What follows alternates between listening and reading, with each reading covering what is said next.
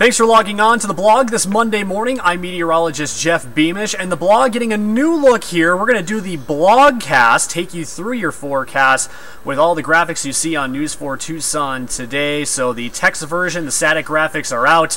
You will see your forecast in motion. Love to hear some of the comments.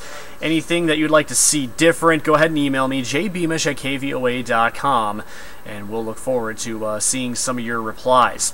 Certainly hope you had a wonderful weekend. What a week of weather on tap for southern Arizona.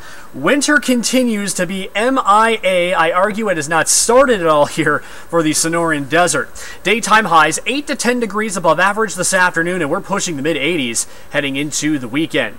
A big welcome to everybody in town for the Tucson Gem and Mineral Show, kicking off Thursday at the TCC. Low to mid 80s for daytime highs, ample sunshine, and feeling a little more like mid March in mid February. So, what's driving the warmth? High pressure off the Baja coast, moving in our direction as the week goes on. As it gets closer, temperatures will warm up. I think we're in the 70s through Wednesday, and then that string of 80 degree days beginning Thursday through the weekend. It's winter somewhere, just not here in southern Arizona. Another winter mess heading toward the southeast. Portions of the Carolinas and Georgia under winter storm watches and warnings over the next 24 to 36 hours.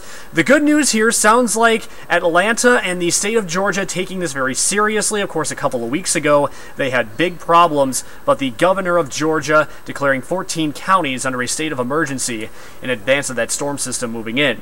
Just developing right now over portions of Kentucky and Tennessee, rain showers on the Gulf Coast. This will combine into that winter storm, enough cold air moving in from the north north and that Gulf moisture moving up from the south, meeting over Atlanta, Charlotte, and portions of South Carolina. Freezing rain, sleet, and heavy snow possible. Much more on that in the coming days. A look at your TrueView 4 extended forecast. 70s now through Wednesday. Daytime highs 8 to 10 degrees above average for this time of year. There's the 80s. Check out the weekend. Low to mid 80s for daytime highs. Could reach our first 85 degree day of the year on Saturday. That's a month early, possibly. And also could tie a record high set back in 1957.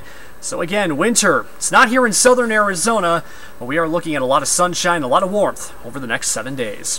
Thanks for logging on. I'll see you later on today for News 4 Tucson at noon.